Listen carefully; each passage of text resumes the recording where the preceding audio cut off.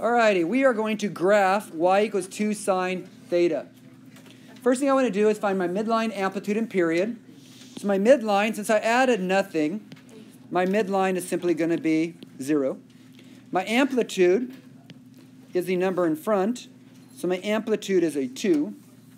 And my period is not 3, but it's 2 pi divided by 3.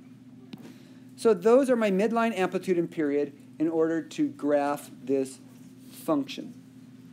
Now, since the midline is 0, that means our middle of it is on the x-axis.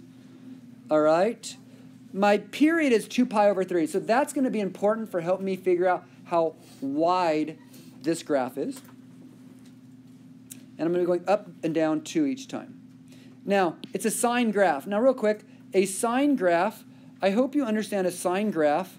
If this is your midline, do you guys understand a sine graph looks like that? Yeah. So if it's a sine graph, a sine graph will always start at 0 and then end at the end of the period. Since the period is 2 pi, isn't it going to end over here at the end, and can I call that 2 pi over 3? I said that wrong earlier in the sense of the period is 2 pi over 3. So doesn't it start at 0 and end at the end of the period. I'm going to call that 2 pi over 3. Nice thing is we get to label it however we want. So start at 0, end at 2 pi over 3, because I start here and end here. Now, if I start here and end here, when do I hit the midline again? Well, don't you hit exactly in the middle? So exactly in the middle would be right there. So this wouldn't this be exactly in the middle, which would be pi over 3, halfway. So halfway, we're going to hit again. Because look right here, you start here, you end there, and halfway you hit again. Now we know the graph is going to go up and back down, and it says the amplitude is 2. So isn't it halfway between these, aren't we going to go up 2? Halfway between these, aren't we going to go down 2? So just so it looks a little bit better, I'm going to go by ones and 2. Negative 1, negative 2, just so it looks a little bit better. So halfway between, right here, aren't we going between these two dots, aren't we going to go up 2? And then halfway between these two dots, aren't we going to go down 2?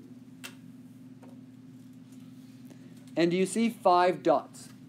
Whenever we graph trig functions, we have five good dots. So now we make our nice little trig function. Looks like a roller coaster.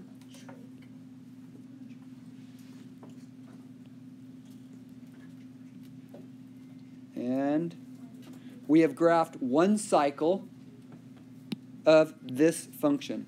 Nice thing is we got to label it however we wanted. Could I graph this over on this side? Could I graph the other side of this over here? Yeah, but usually when we graph, we're just graphing one cycle.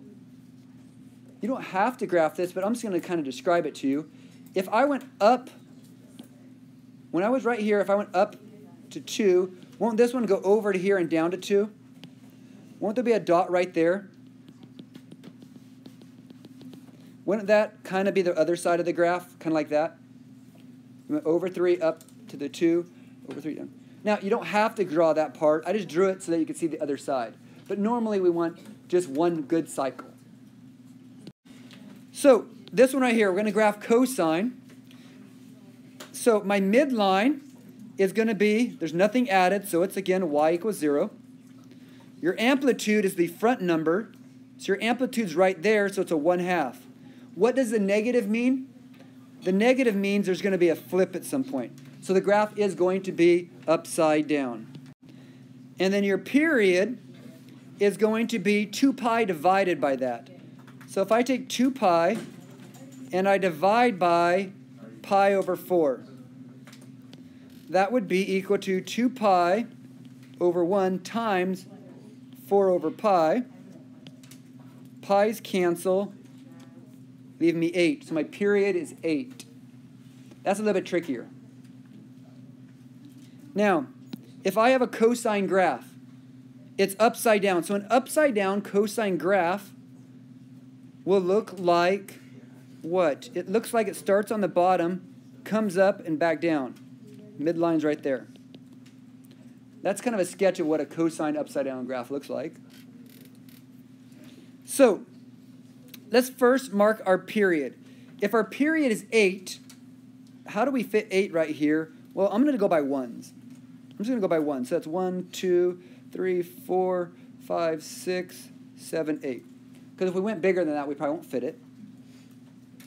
Our midline is the x-axis. Our amplitude is a half. So if my amplitude is a half, what I'm going to do here is I'm going to call this negative 1 half and this negative 1. I'm going to call this 1 half and this 1. Um, so I can fit it better. Just going to try to fill the space. So I'm kind of changing my increments. And then, okay, if it's an upside down cosine graph, aren't we going to start below the midline? So how far below the midline do we start? Isn't it 1 half? So we are going to start 1 half below the midline. And aren't we also going to end at the same point?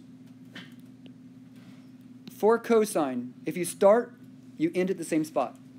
So we start here, so we're also going to end there at a period of 8. Now, halfway between these two dots, isn't it the max? Won't this dot be halfway between? So what's halfway between here? Isn't it 4? And how high should it be? Well, aren't we going to go the amplitude up to there? So won't it be there, halfway between?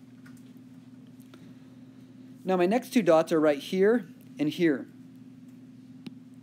What you have to understand is those two dots are going to hit the midline, and they're equidistant between these two. So what's halfway in the middle of 0 to 4? right there. So isn't that where it's going to hit? It's going to hit halfway between these two. You're going to have a dot right there. Then halfway between 4 and 8 is right here. So you're going to have a dot right there.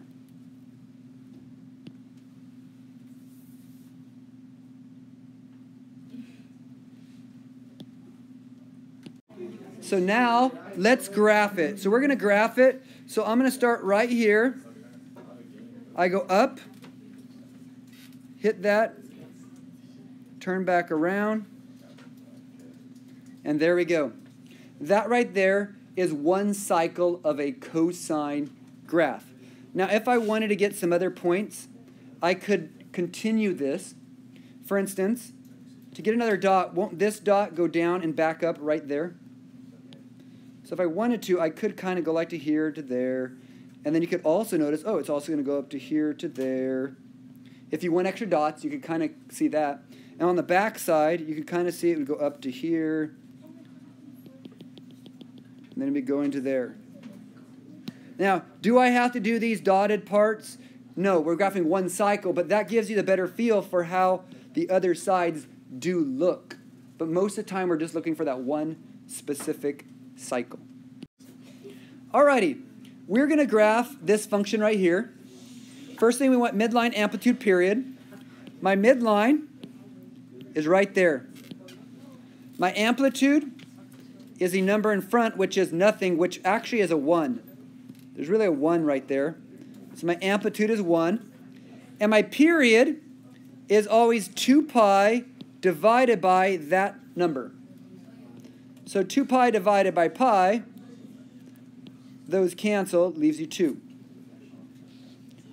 So from that, I'm now going to graph. Now, when I graph, the first thing you actually want to do when there's a midline is to graph the midline.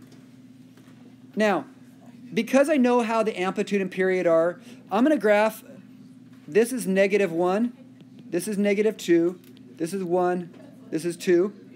So my midline is right there. at negative 1. So my midline, kind of hard to see, is right there in green at negative 1. Now, since I have a sine graph, what you got to realize is a sine graph starts here, goes up and back up, kind of like that. So I know my sine graph is going to start right there. So this dot, and it's going to end at 2 away. Now, I'm going to end it all the way over here. So I know my graph is going to end all the way at the end, so I'm just going to call that 2. All the way at the end is 2. So halfway across is going to be 1. So that's 1 right there. So, but for sine, doesn't sine start right there, halfway through hits again, and at the end hits again on the midline?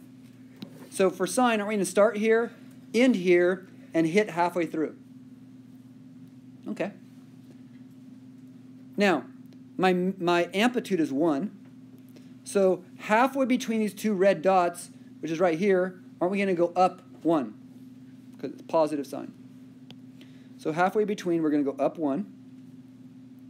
And halfway between these, aren't we going to go down 1? And you now have a sine graph.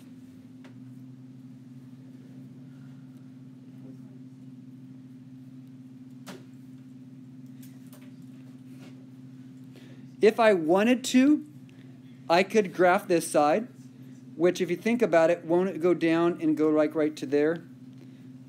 So it's going to be like right there. If you wanted the other side, it'll look something like that. But you don't really have to. The red part here is your singular cycle of a graph of that function. We're now going to graph this one. So my midline is always that, so it's y equals 2. My amplitude is the number in front, which would that be a negative 1, but my amplitude is positive 1 with a flip. So we know it's going to be flipped over. And my period, there's really a 1 sitting right there. So what is 2 pi divided by 1? It's 2 pi. All right, first step in graphing is to think about, okay, my middle is going to be 2 and my amplitude is 1. we got to look at those to think how we're going to label this. So I'm going to go by ones. So I'm going to go one, two, three.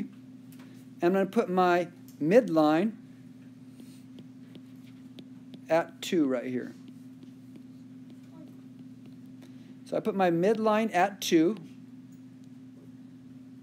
Okay. Um, my amplitude is going to be 1. It's a cosine graph that's been flipped. So a flipped cosine graph, actually, if this is your midline, starts low, goes up, and comes back down. So that's what we're going to be looking for, something like that. So if that's the case, I'm starting at the low point, one down. So norm, this is where sine starts. Cosine is going to be starting right there. So cosine will start right there. And then the ending, we'll just call it right here. Let's go all the way to the end. It's going to end at the end here, and I'll call that 2 pi. Nice thing I get to choose my increments. And halfway through, right there, is going to be pi. So for a cosine graph, we start here, we end here. Halfway through, aren't you going to go to the highest point? So at pi, which is right here, aren't we going to go to the highest point, amplitude 1? So we are right there. Again, you start down here, you end down there. Halfway through, you go to there. And then halfway between those, you hit the midline. So again, you're going to now hit the midline. Halfway between these two values, you're going to hit the midline right there. Boom. And halfway between these two dots, you're going to hit the midline again. Boom. Let's graph that. It goes up, like that, and down. And there's your trig function. If I want to sketch the other side, it have a dot like right there, and it kind of be going back up. But if you want the back side, it kind of look like that because see the pattern? Kind of kind of keep the pattern going. But this right here is an upside down cosine graph. Midline 2, amplitude 1, period 2 pi.